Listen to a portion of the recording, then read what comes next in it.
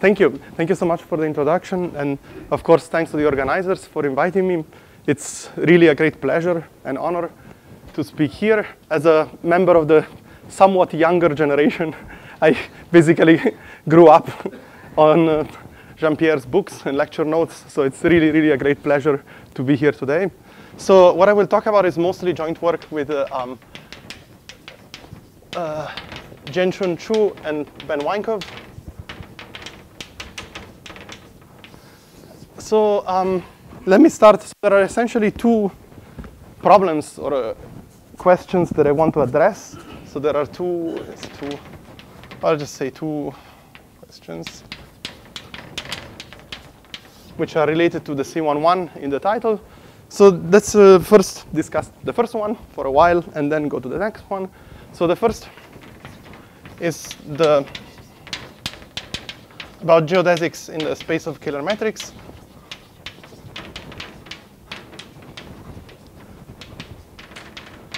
So I think this one briefly appeared in Bu's talk, perhaps, but let me just uh, um, explain the setup.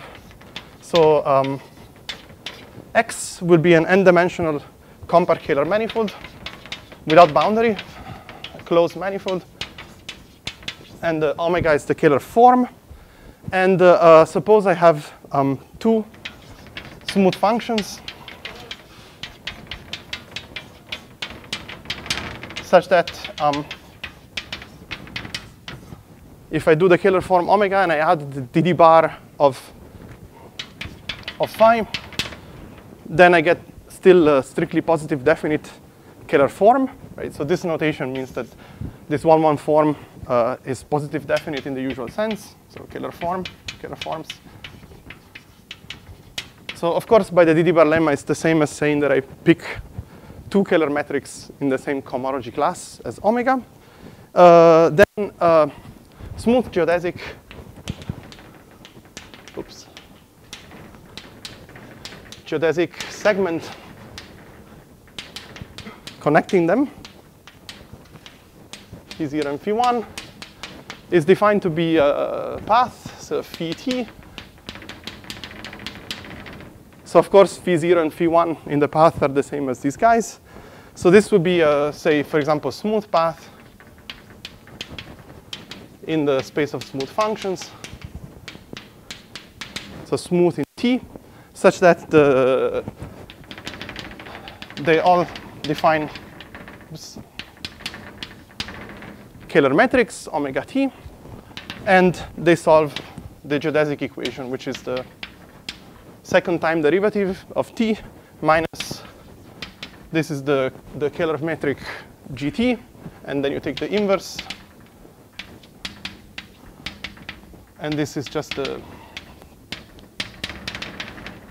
so this is nothing but the, the gradient squared, the gradient squared of this phi dot measure with respect to the metric gt itself, the complex gradient. Okay, so this, why is it a geodesic? In which sense? So this is just formally a geodesic, uh, formally the geodesic equation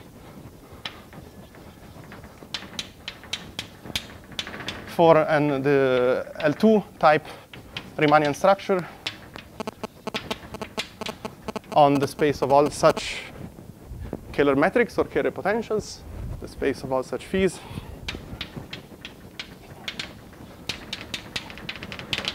Which was, so this L2 metric is due to Mabuchi,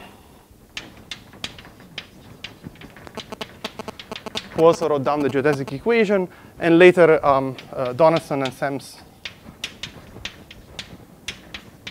independently also discover this and more what I'm going to say next. So um, this is just uh, um, what formally you get from this L2 structure.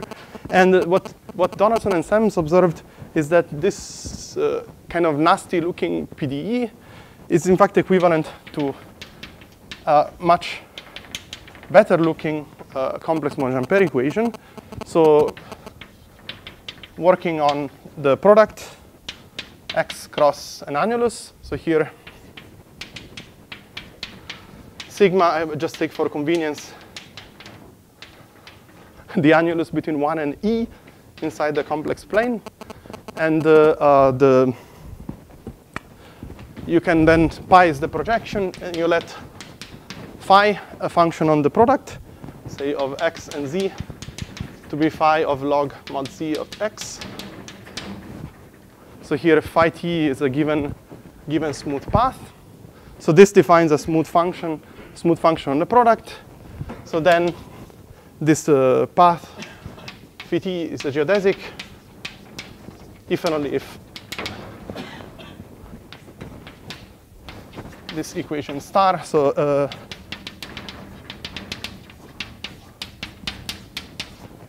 so if you pull back the Kähler form and you add the dd bar of this phi in all variables, is semi-positive, and the determinant is zero.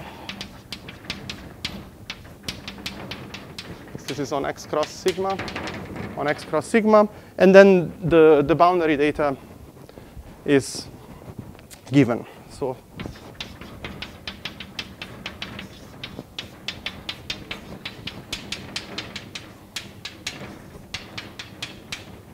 for all x in x. Okay, so the this one here is a homogeneous, so it's a Dirichlet problem for a homogeneous complex Monge-Ampère equation.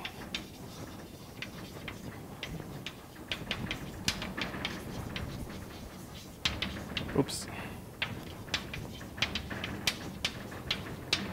On this uh, product product manifold with boundary. Okay, if you take the closure, the closure of sigma has a boundary, and uh, and the so this condition here is essentially a plurisubharmonicity condition with respect to this degenerate form on the product.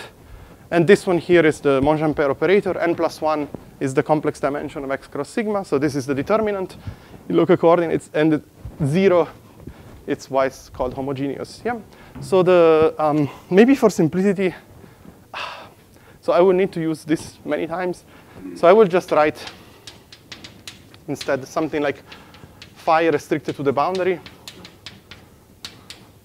equals to phi, where this little phi is going to be phi 0 on one component and phi 1 on the other one. This is phi 0 and phi 1. So I, I don't need to re keep rewriting this, which is kind of long. Okay, so the um, so this I believe was observed by Donaldson and Semmes.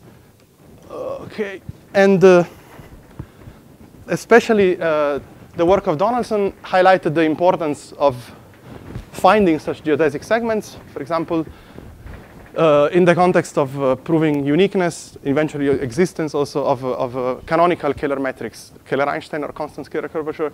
So the, the, constructing these geodesics was a very important problem. And uh, uh, ideally, oh, can you actually read them? Maybe not. Ideally, you would like them to be smooth, as I wrote in the hidden line. um, but since it's at least the fact that the equation is homogeneous, uh, makes it harder to directly solve, directly solve it. Uh, people first looked at solutions. So uh, weak geodesic segment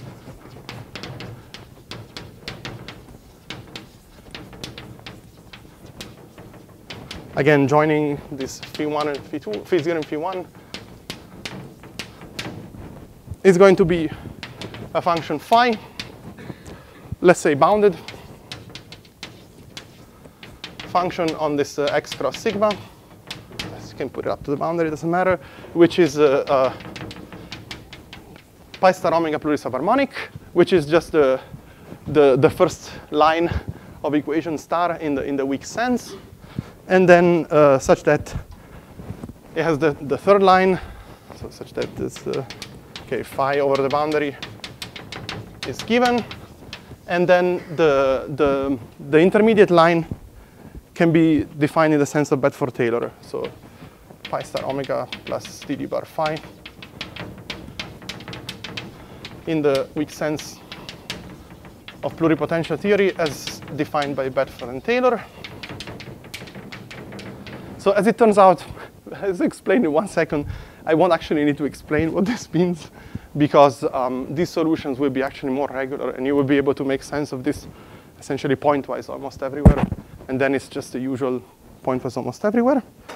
And uh, um, so the, if, you, if you take this uh, weaker definition, so a kind of a weak solution of star, this you can think of as a weak solution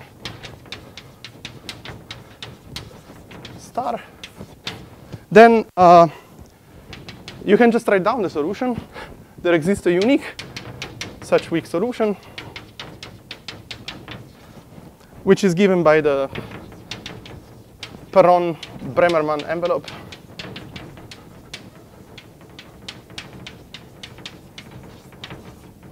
So phi, phi at a point, let's say x, or I should say xz, is the sup overall eta, which are pi star omega plurisubharmonic on x cross sigma, and uh, the lim sup, let's say as xz goes to the boundary, x0, z0 on the boundary of eta of xz is less than or equal than phi of x0, z0.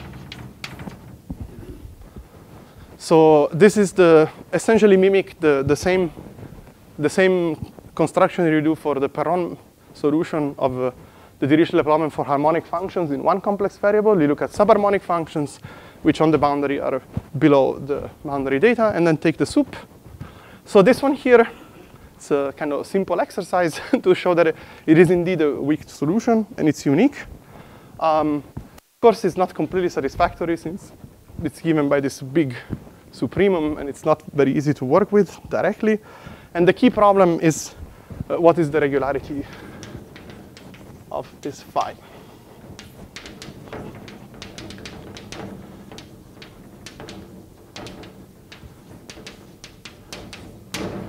So for example, can you choose phi to be smooth? So, uh, so the story or history is like this.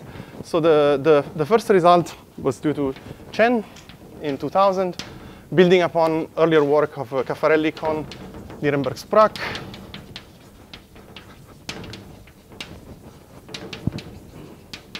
In 85 maybe, and uh, Bo Guan in 99 or 98, and uh, later some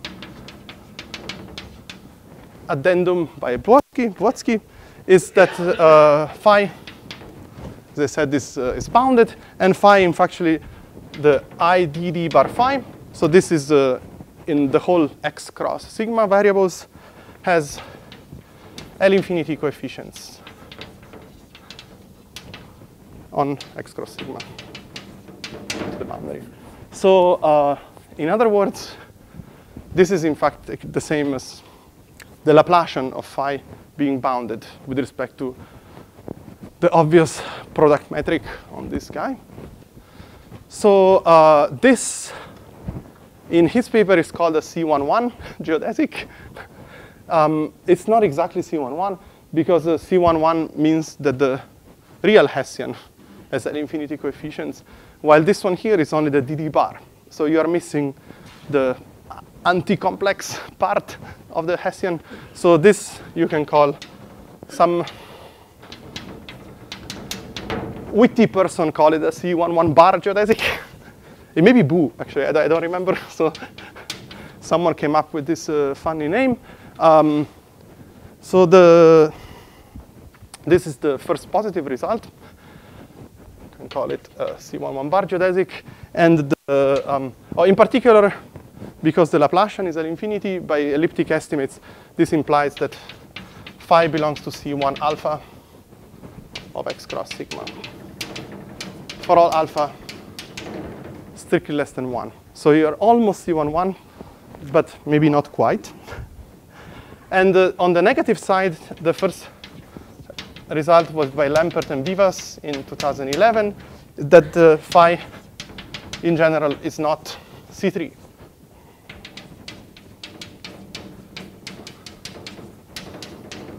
So uh, you cannot hope to obtain C infinity solution, not even C3.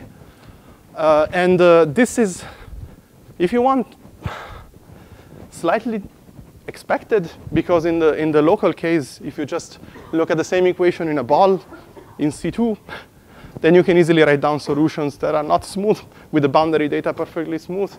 Uh, so here. So keep in mind this, uh, say, u, u of a z1, z2 on the unit ball in C2 to be, say, the max between z1 squared minus a half plus squared and z2 squared minus a half plus squared.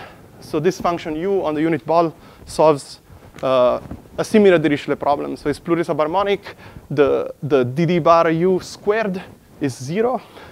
And uh, the boundary data is completely smooth, real analytic even. But this function is uh, only C11. It's not C2. However, this is just a local example, and uh, it's not clear how you actually construct a counterexample, but it was done. And then later, uh, Darvas and Lempert in 12, they proved that, in, fact, IDD bar phi in general has coefficients which are not continuous. So coefficients are not C0. So um, it seems like it's almost optimal here. You have the DD bar phi is bounded, but in general is not continuous.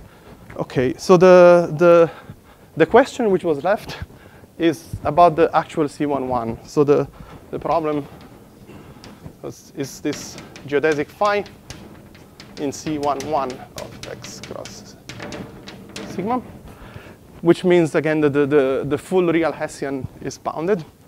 So um, this is a, would be, in some sense, the optimal regularity. So it's the only thing I can think of reasonably that you can put between this and this.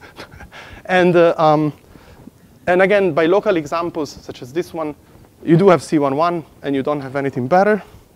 So this problem had been studied before. So uh, Błocki in the same paper in 09 prove that the answer is yes if the uh, bisectional curvature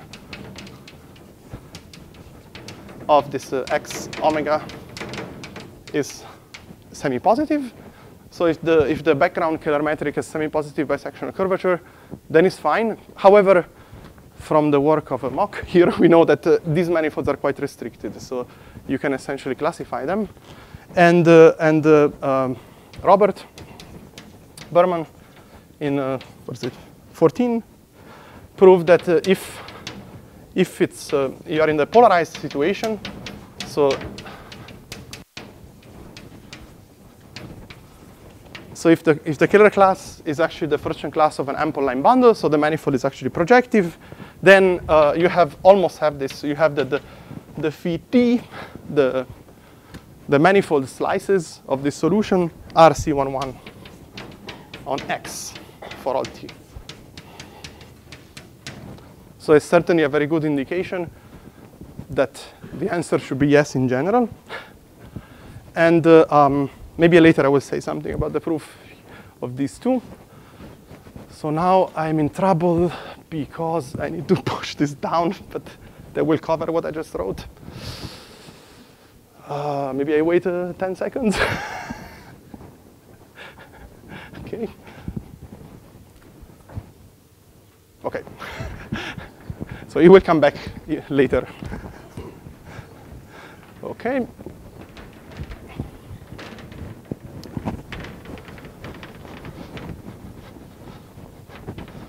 So the, the, the first theorem that we proved uh, last year is that uh, the answer is yes in general. So in general, this phi is indeed in C11. So you do have the expected optimal regularity for these geodesics. Uh, and uh, um, so therefore, basically, in general, this is the best you can do and no better than this.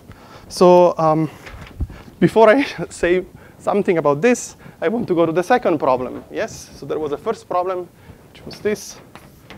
And the second problem, which is uh, very much related, but slightly different, which is again about a similar plurisubharmonic envelopes when there is no boundary condition.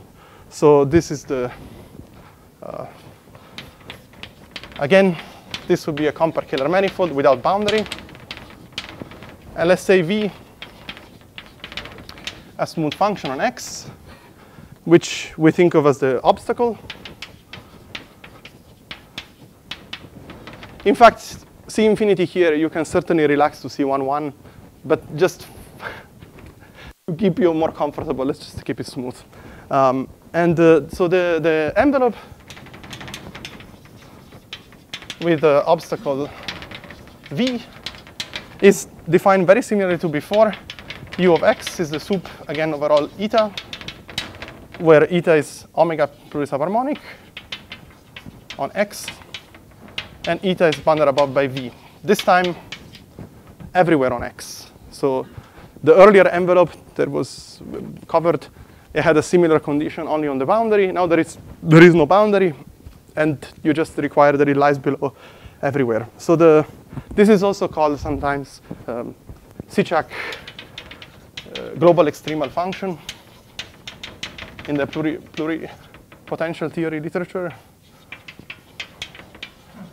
And the picture of this uh, U, at least the real picture, which is, of course, easier to draw than the complex picture, if, the, if the, this is the obstacle V, which I drew as kind of not really convex, so V is not really omega PSH, then the envelope is like the convexification of V, or plurisubammonification, omega PSHification of V. So you can see that the, the, there is a region where U is strictly less than V, where it looks like a linear function, at least in this picture. And then there is the region where they're equal, which is here. OK, so um, this is a very natural object to consider. And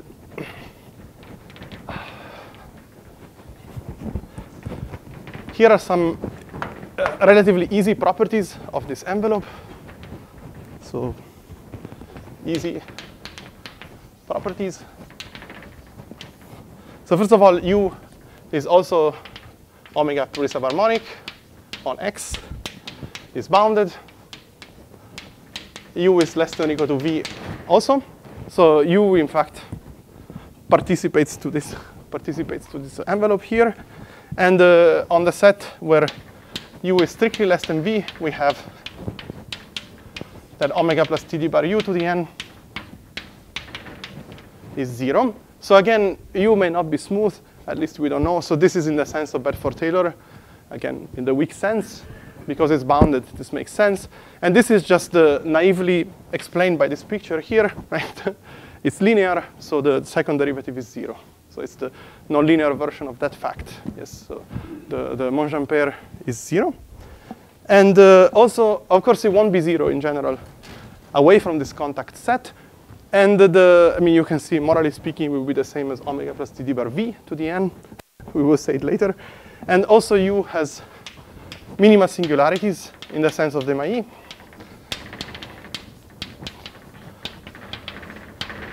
in this class, so which means that the for every eta omega plurisubharmonic, eta is bounded above by u plus c for some c.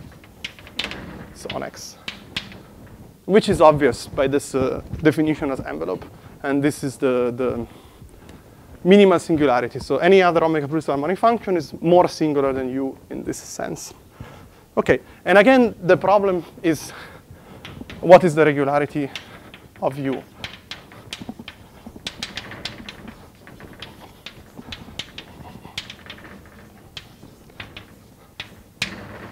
And uh, so we can also consider a slightly more general setup. So, so far I just took omega Kähler metric here but in, you can uh, loosen this restriction. So let me quickly mention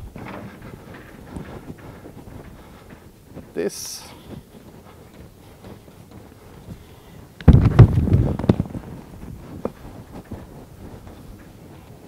So we can also replace, we can replace omega in this construction of u or in the definition of u by, let's call it uh, theta, which will be a general closed, smooth, real one-one form on X. So theta will be a closed real one-one form. So it defines a cohomology class with this bracket, uh, a one-one cohomology class. And uh, um, again, following Demailly, who was inspired by similar definitions in algebraic geometry, we say that theta is, so this class is, okay, the first one you already know. So Kähler class is just the obvious thing. If there exists a phi smooth function such that theta plus td bar phi is positive. So the, here this uh, H11 class I'm viewing as closed real forms modulo the image of IDD bar in the usual way. And uh, we will say that the class is nef, and numerically effective, if for any epsilon there exists a phi epsilon smooth, such that theta plus d bar phi epsilon is bigger than minus epsilon omega on x. So almost semi-positive. And the pseudo-effective psef if there exists a phi omega plurisubharmonic, sorry, theta plurisubharmonic, so theta plus d bar phi semi-positive in the weak sense. So this, this phi may not be smooth. And the big if there exists a phi theta plurisubharmonic such that furthermore is strictly strictly theta plurisubharmonic. Again, in, in the weak sense. So um, what Demailly proved is that these, these definitions in the projective case are perfectly consistent with the same de definitions with the same names in algebraic geometry. So if x projective and uh, uh, theta is a C1 of a line bundle, then the class is Kähler if and only if the line bundle is ample. The class is nef if and only if the line bundle is nef. The class is pseudo-effective if and only if the line bundle is pseudo-effective, and the class is big. So these are equivalent to the algebra geometric definitions.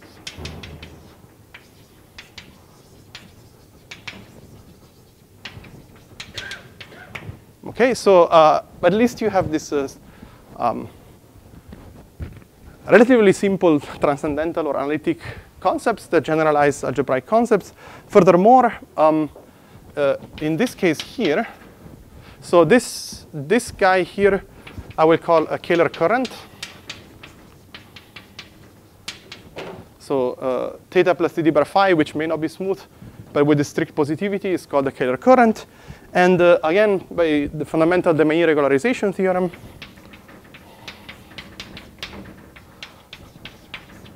of current implies that, okay, in words, implies that if, if you have a big class that exists a Kähler current, you can change it, you can regularize this phi and find a new Kähler current with analytic singularities, which maybe I don't need to define, but uh, the consequence of that is that if I define the non-Kähler locus of this class, non-Kähler locus,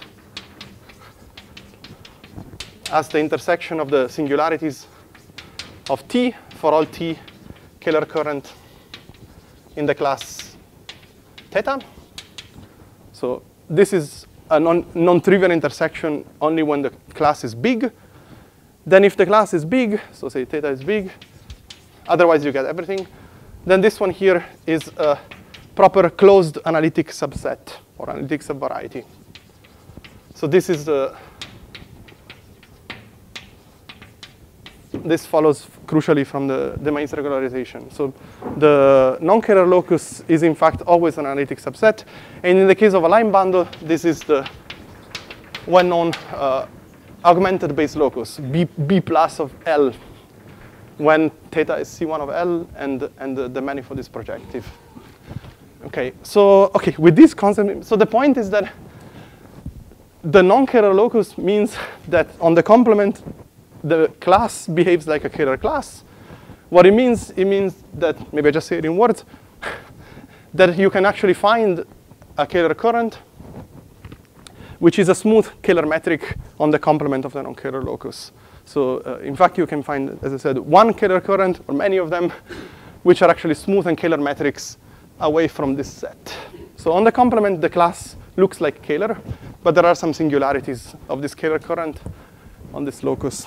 Okay, so now with this, with these definitions under the belt, we can we can generalize or the second setup.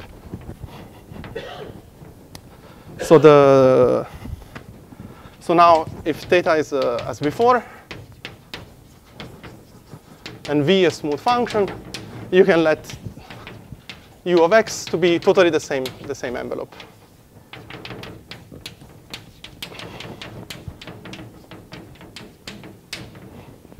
Same envelope.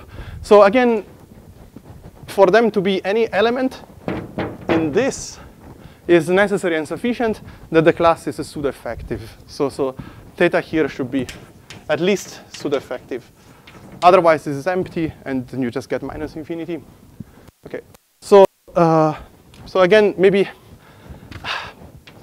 I guess some people put the theta here to emphasize. Really, it would be theta and v, but I, I, will drop them from the notation, but they're implicit there. Okay, so the same question is, what is the regularity of this envelope? Okay, so the, the first result, I believe in general, was uh, due to Robert Berman in his thesis. So he proved that if, uh, if uh, theta is uh, C1 of L, where L is a big line bundle, as I said, the same as just saying that this is a big class, and it's the first Chern class of line bundle, then U is uh, C11 on compact sets away from this non-Kähler locus. So it's, uh, um, again, the number C11. Loc just means on, on, compact sets, on every compact set. And uh, um, conjecture that at least if uh, theta is a Kähler class, then uh, U in C11. Okay, so this was uh, back in his thesis. Here he used a, a, very nice modification of a method of Bedford-Taylor. Yes, yes. Are you using a postdoc? Really? Oh, okay, okay. So the, I mean, it's published in 09, but uh, it's, uh, okay, very good. very good, okay. okay, and then the, so the next general result indeed is due to Berman and Demailly. So this one was also the postdoc or later? Uh, maybe later, yes. This one maybe 11, something like that.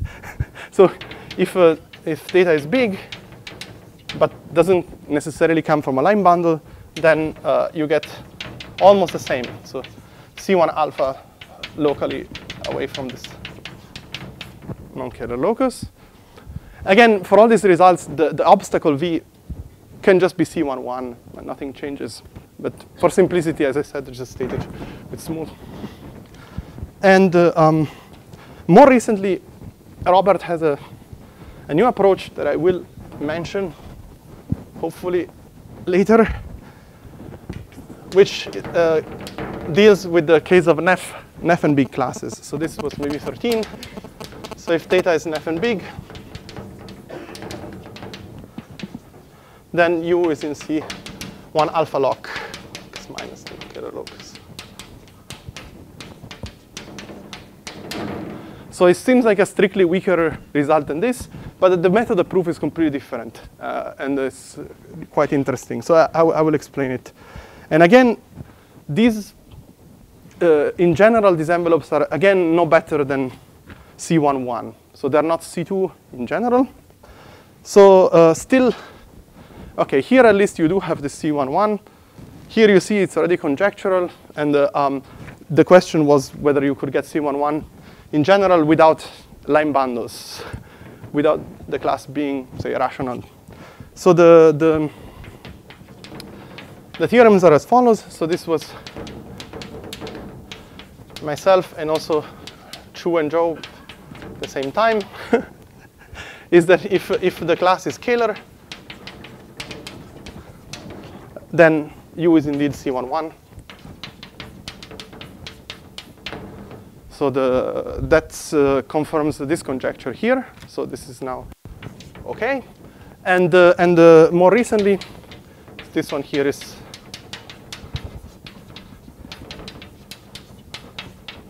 uh, almost on the arXiv, but not yet, is that the, if, uh, if uh, theta is nef and big, then you get the same as, uh, as in Robert's original result. So then U is in C11 loc.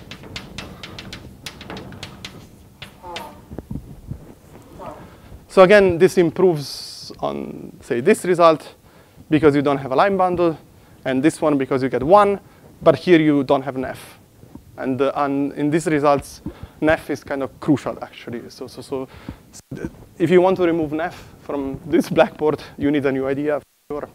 Um, okay, so these are the, the results, and let me discuss the idea. So as I said, there are these two setups.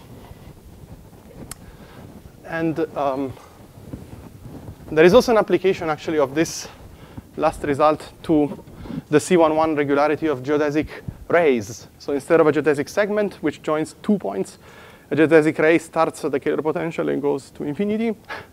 So we also proved that for geodesic rays that come from test configurations in the sense of Donaldson, then you have the same C11 regularity locally.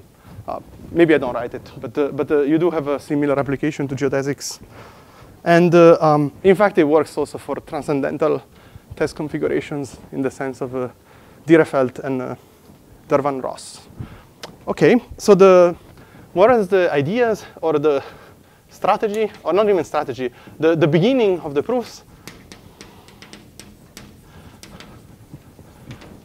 are a similar, well, okay, not really similar, but there are these two setups, and there is an uh, approximation scheme. So start by approximating phi or u by smooth functions which solve a family of Monge-Ampère equations, which are non-degenerate. with a parameter, and then the parameter is going to go to some limit, and you will obtain phi or u in the limit. So the, the, the first setup, this is quite classical from the paper of Chen.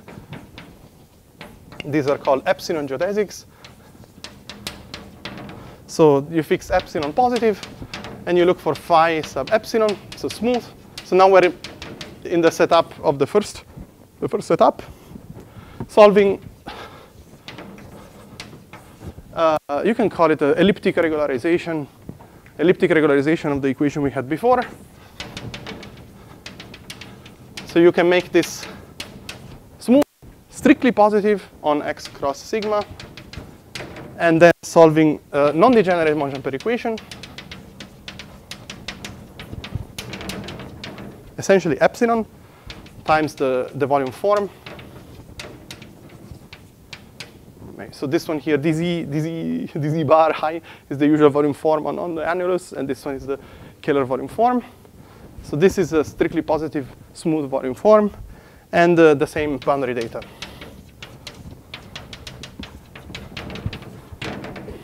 -hmm. So the this epsilon geodesic is a non-degenerate, strictly elliptic problem with boundary, and this one can be solved. So this was proved by Chen, and this uh, Caffarelli, Kohn, Nirenberg, Spruck, Bogwan, Błocki. They proved that there exists a unique phi epsilon smooth solution.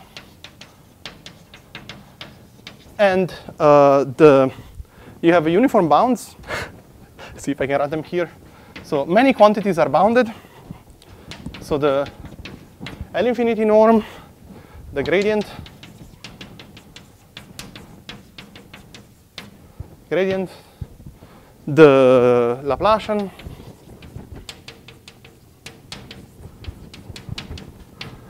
and the C11 on the boundary.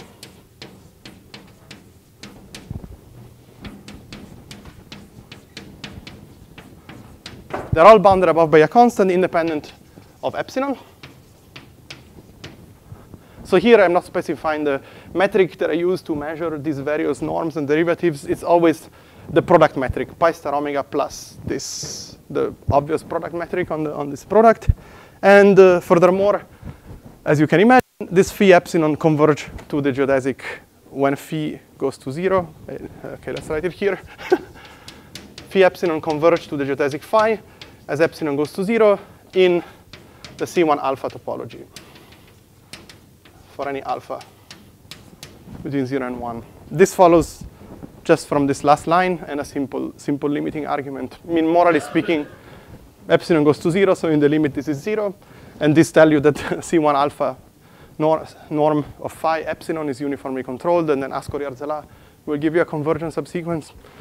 So this is actually how you prove the theorem of Chen, that you do have a C11 bar solution. It's in this way. And uh, the main theorem then is simply to establish the similar estimate in the inside. So this is only on the boundary. The real Hessian is only controlled on the boundary here, and it's actually now controlled in the inside as well. So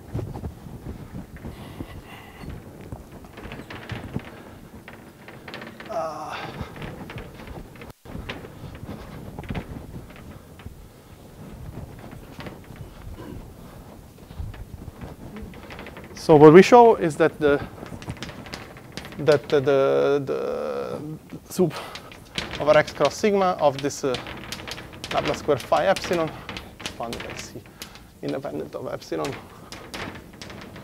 which passing to the limit easily implies that the limiting phi is C11. This implies. And uh, so in fact, the theorem, you want the more technical statement is like this. So it's just simply an estimate for the non-degenerate complex Monge-Ampère equation, possibly with boundary. So this is a compact complicated manifold with boundary maybe, boundary possibly. But it doesn't have to have boundary. And the uh, f and phi smooth functions such that phi is a Kähler potential, whatever uh, doesn't matter. And the, the, the Monge-Ampère equation is satisfied. So now the right-hand side is smooth and positive, and uh, then there exists a constant c, which depends on many things. Namely, okay, so on the on the sup of f, on the sup of the gradient, on the inf of the Hessian, with the obvious meaning of this. and uh, on the sup of phi, on the sup of the gradient, and on the sup on the boundary of the Hessian. If the boundary is non-empty, otherwise you can drop the last, and such that the, the, the, the real Hessian of phi is bounded by this constant c. So if you want some um, essentially interior interior estimate for the real Hessian of the solution of a complex Monge-Ampère equation. This is exactly the same setting as the famous Yau's theorem, Calabi conjecture, completely the same. The key point is that the, the, the C doesn't depend on the inf of f. Right, so f is allowed to go to minus infinity, and the, the reason why this is useful is pretty obvious. You just apply, to derive the theorem in the first line, you just apply the theorem in the second line with the following choices, right? So the, the you just take m to be x cross sigma closure, and uh, omega, okay, so this omega would be pi star omega plus uh, dz dz bar, and uh, phi, phi epsilon minus mod z squared. So I, I remove mod z squared, which is harmless, so that when I do this plus d bar this, I get, up, it's gone, uh, somewhere underneath, I get pi star omega plus d bar this. And then f, I take log epsilon, essentially, up to some constant. Right, so, so if I make these choices, and this equation here becomes the same as this uh, epsilon geodesic e equation. And log epsilon is very good because uh, the sup is bounded, epsilon is going to zero. These are all zero. However, crucially, the inf goes to minus infinity. So uh, if you prove the same estimate depending on the inf, then it's useless for this point. And in fact, this estimate depending on the inf is very easy to prove. So, so kind of classical, and in any sense, definitely observed by Błocki in 09. But uh, uh, for the regularity of geodesics, the dependence on the inf is not allowed. And uh, um, so that's the idea. Probably I don't have much time to say how you prove this, but I will say something later. I want to say something about number two, right? The, the, the envelopes. So here, use a different, different approach. Right? So the, the, again, in the blackboard behind, to, to approach the geodesic problem, you added this epsilon on the right-hand side, elliptic regularization. That works because the manifold has boundary. Here, for problem number two, the envelope, you, the right-hand side, the, if the manifold doesn't have a boundary, you can't just put any constant you want here because you have to integrate to the correct amount. So you can't just copy the same idea. So uh, what Berman found, so zero temperature limit.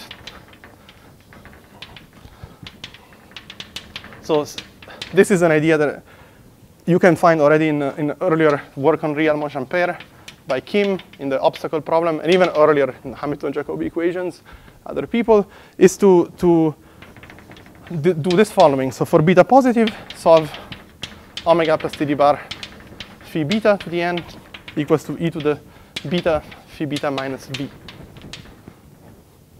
So this now we're in the setup number two. The manifold doesn't have a boundary, this is on x. Uh, or you can put here theta if you want. Uh, let's just do the Kähler class. Let's just do the Kähler class. So uh, in the Kähler class, this equation here for beta positive, uh, so this is a fixed guy, okay, with beta. This is the same phi, but it has the correct sign, positive. So this is solvable. There exists a unique smooth solution, phi beta, by the fundamental work of Aubin and Yau. This is the easier Monge-Ampère equation with a positive coefficient. And then what uh, Robert observed is if you let beta go to plus infinity, then the phi beta converge exactly to the envelope U. In, okay, certainly L infinity of x. In fact, what he proved is even C1 alpha x in the setting here of a Kähler class. And then what we prove is that the, the C11 norm of these approximations is uniformly bounded, independent. Oh yes, the zero temperature, that this has come from some statistical mechanics uh, interpretation of this. The temperature is one over beta. So beta to infinity means temperature goes to zero, whatever temperature means. That, that explains, that explains, ask Robert, of course, if you want to know more.